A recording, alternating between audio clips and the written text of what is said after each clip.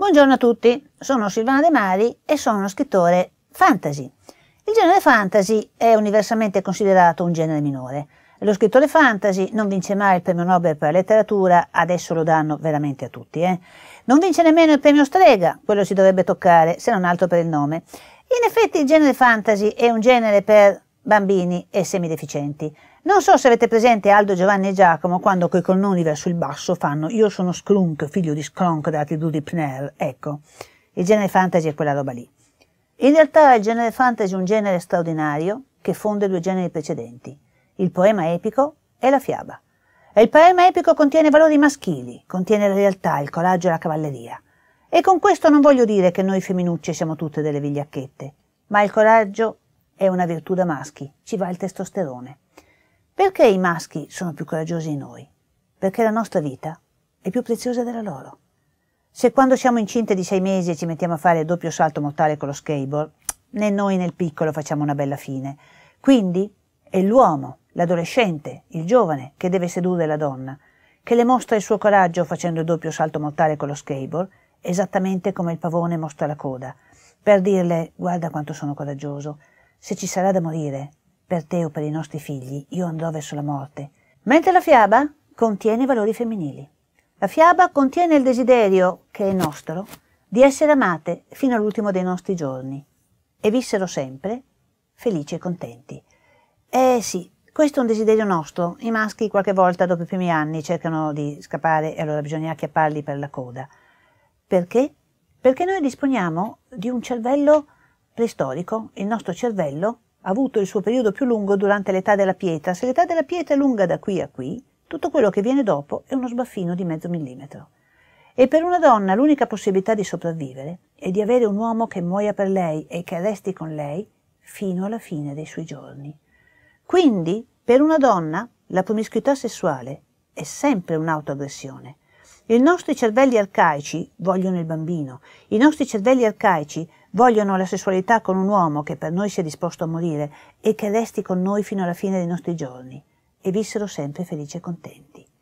Cos'altro c'è nelle fiabe? La persecuzione dei bambini. Cos'è la letteratura fantastica? Ce lo spiega Kafka. La letteratura fantastica è il posto dove noi teniamo i mostri. Eh sì, quando qualcosa è troppo atroce per guardarlo negli occhi, perché ci brucerebbe gli occhi per l'orrore, noi lo nascondiamo dentro le volute d'oro e d'argento delle fiabe, così finalmente possiamo parlarne senza averne lo sguardo distrutto. Questo è rappresentato in un mito molto bello, quello della Medusa. La Medusa è la realtà.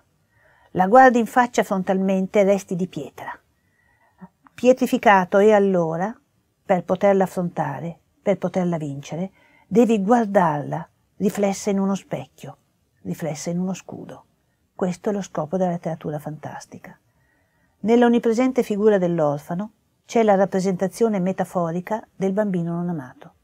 Il dolore del bambino non amato è terribile, è totale, ed è stato trascurato, ignorato dalla scienza fino a pochi decenni fa. Solo pochi decenni fa il neuropsichiatra Bolbi si rende conto del terribile dolore del bambino che perde la madre. Il libro si intitola Attaccamento e perdita. Il bambino nasce avendo già nel cranio la conoscenza che deve attaccarsi alla signora che c'è dall'altra parte del cordone ombelicale, che è mamma. Il bimbo ha imparato a conoscere la voce di mamma diversi mesi prima di nascere. Impara a riconoscere il suo odore pochi minuti dopo essere nato. Se la perde, è quella che si chiama una ferita primaria. Per tutta la vita avrà gli ormoni da stress alti. Il dolore del bambino non amato era chiuso nella figura dell'orfano, motivo per cui sono sempre tutti orfani. Biancaneve, orfana. Cenerentola, orfana. Spider-Man, orfano. Harry Potter, orfano. Il brutto Natroccolo e Pinocchio, figli di genitori dispersi e non identificati, prima o poi scopriremo chi sono i due responsabili che dopo aver messo al mondo qui qua qua li hanno mollati a zio Paperino.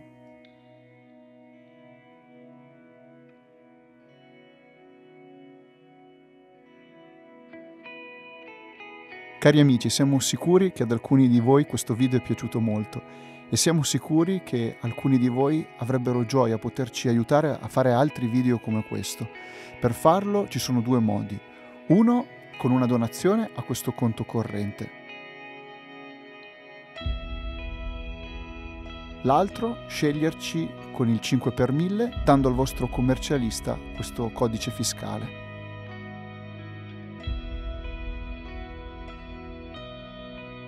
Grazie.